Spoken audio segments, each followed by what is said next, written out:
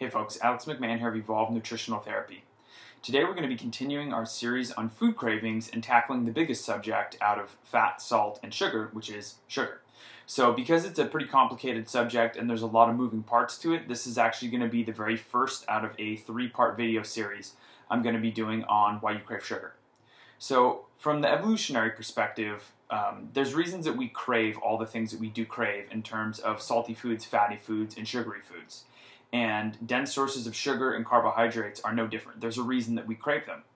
One of the biggest reasons is because when you would eat a food that would come from nature, um, if something tasted sweet, it would be a really good sign that this was a food that wasn't going to be poisonous and that it was safe to eat.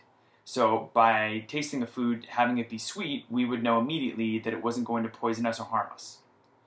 Another big thing to keep in mind is that from an evolutionary perspective, uh, gaining body fat for a period of time out of the year was a necessity.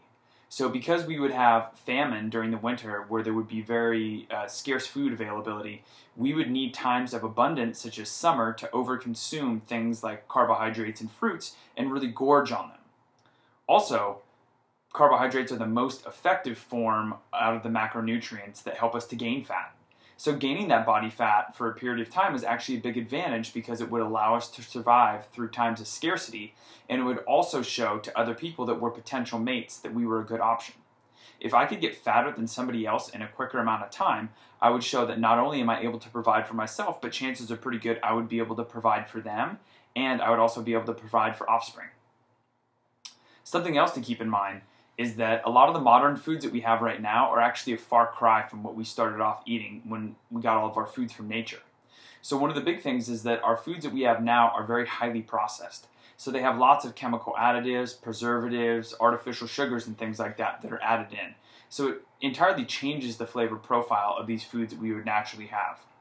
These foods are also hyper palatable. So a lot of the times what people don't realize is that foods are actually having their flavors designed in a lab. So somebody in a lab coat is designing a specific flavor that will make it so that it somewhat hijacks the reward center of your brain. So one of the ways that we were encouraged from an evolutionary perspective to continue eating these very sweet foods was when you eat something sweet, it hits on the reward center of your brain and releases the feel good hormones dopamine and serotonin.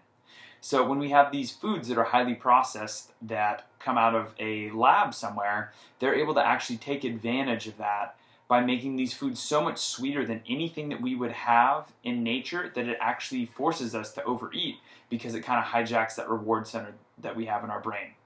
Another problem is that these foods are very calorically rich but very nutrient poor.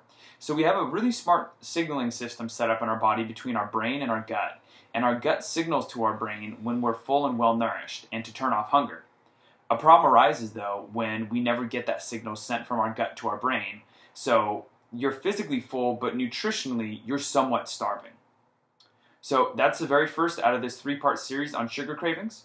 If you would like to connect with me, you can find me on Instagram at Evolve Nutritional Therapy, Twitter at EvolveNTPDX, or you can email me at pdx at gmail.com.